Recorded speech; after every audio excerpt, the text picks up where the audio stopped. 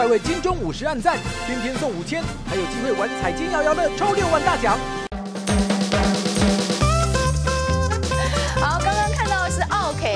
面就来看看奥 K 排行榜，赶快请请教一下星星教授安格斯早。呃，早。如果讲到奥 K 的话，我们这种火象星座的应该应该少不了要上榜吧？对，我们这种火象星座，像是倩玲的母羊或我的射手，都是那种话忍不住就觉得不好就会直说的对我其实没有恶意啦，但是我话还是会讲出来。对，那所以对其实身经百战的服务人员来说，他应付我们火象的时候，嗯其实反而会觉得你火象，哎，讲话很直接、很迅速、很好。哦，是。那哪一些星座比较难搞呢？先来看到奥 K 指数最高的星座的第三名，所以讲到呢，第三名 OK 指数是巨蟹座，哇怎么会是巨蟹呢？一般来说，比这么爱家人，比如比如倩玲觉得应该是巨蟹座，应该给你的印象是蛮好、蛮暖的，对对对不对。对那为什么会呢？因为巨蟹呢是众所皆知，它十二星座的美食家。对美食家嘛，他对食物自然是非常非常的挑剔在意的。可是呢，巨蟹喜欢在一个舒适的环境，他觉得什么样的美食就要配怎样顶级的服务。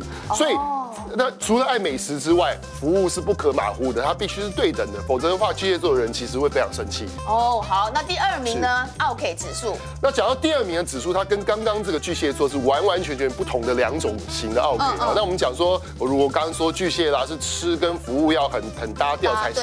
那接下来这个第二名是水瓶座，水瓶座怎么会水瓶座 不是都是那种很温柔、很高雅、很爱美的？哎，当奥 K 很丑的耶。对，你知道像我们这种急性子火象，我们看水瓶永远都会觉得它是非常优雅而美的啊。有点做作了。他其实，在挑剔的时候，也是一个非常优优雅的挑剔家哦，。是这样。怎么说呢？嗯水瓶会挑一些小细节，不是你想到的吃货服务。水瓶会挑一些奇怪的点，比如说，哎，哎呀，倩玲，我进了这个棚，我觉得这灯光如果改成黄色，应该比较美。哎哦，听到了哈，导播，哎，那这样这样，哎，你穿的那个衣服啊，如果身上再搭一点绿色，不是比较跳痛？哎，那水瓶常常会表达一些奇怪意见。那如果在用餐的环境的时候，你会觉得，哎。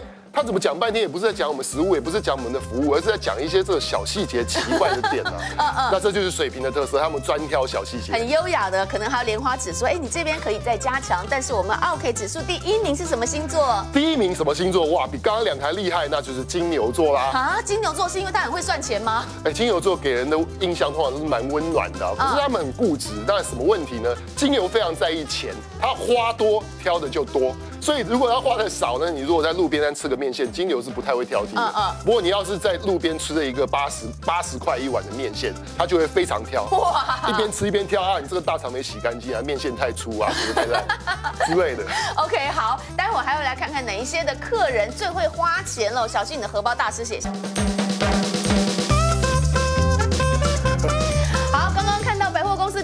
我不禁又错啊起来呀，我会是败家的名单上面的星座吗？赶快请教星星教授，哪哪三个星座是最容易败家，要小心？好，第三名呢，我们要知道是处女座。哦，我的搞哎呀，好险没有你，对不对？处女座为什么呢？嗯处女座其实很很是一个很爱美的星座嗯哦。那所以处女座其实花大钱呢，他通常会换这种人生体验。啊，怎么讲？怎么讲呢？就处女在人生之中，他可能会有很多项他必须要达成的目标啊他就会变成他人生之中，好像他人生日记之中的一环，一个重要的章节。比如说他一定要体验一下机车包，或是一定要体验一样哎这是一种超跑超跑吗？这样子？比如说这辈子我一定要去北极旅游一下，类似就像哎我也处女座会想哎，我也想啊，但是可是可是必须要有时处女座可间还有能就真的。要去了，对不对对，那处女座呢，其实平常很节省，但为了为了这种人生体验，他会花出大钱。？OK，好，那最容易败家的第二名的星座呢？那第二名的星座呢，母羊座，你有发现我加加大了我声量？刚刚你就不能让我高兴一下？我刚刚才觉得我舒了一口气。对我好想讲这一段，母羊座还有什么特色？母羊座，如果你有母羊座的家人，你会发现他们用力赚钱，但是花的更痛快。啊啊啊！不，那我要反过来讲啊，我花的很痛快之后，我会更用力的去赚钱。对，花的很痛快之后，就更更更用力赚钱，是一个良性循环，有没有？我们促进经济的循环景气，而且我们也得到了我们想要的东西，这不是很棒吗这？其实很好，这是这是母羊的动力来嗯源，因为嗯母羊其实是它赚钱的目的，不是用它要干嘛，不然要干嘛？对啊这是母羊的生活目啊的。钱拿在手上不是就要花掉啊？不然呢？对啊，那所以他如果是你家里的一员的时候，嗯哇，你要好好的控管他一下，哈，存点钱总是比较好嘛，对不好，对那谁比我们母羊座更恐怖？败家 Number One 的星座？？Number one 星座双鱼座啊，双鱼座双鱼座，哎，像对倩玲来说，双鱼座给你的印象是什么？浪漫啊浪漫嘛，浪漫感性，很多情绪嘛。那所以因此呢，双鱼座其实呢，他会靠吃喝玩乐来换取好心情。哦，所以当然你就有点难过啦，或或很高兴，他想到的方式都是哦。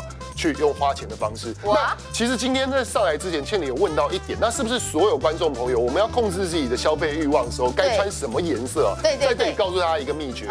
火象星座呢，要穿黄色的衣服，它可以克制你的消费欲望。哦，你这个这个礼拜开头的时候就有讲，我这个礼拜一定要鲜黄色，对不对？这是一个天生这这色彩心理学的一环。然后，那属火象星座呢，它是狮子座、母羊座、射手座朋友穿黄色可以减低你消费欲望。啊，那对土象星座的这个狮呃。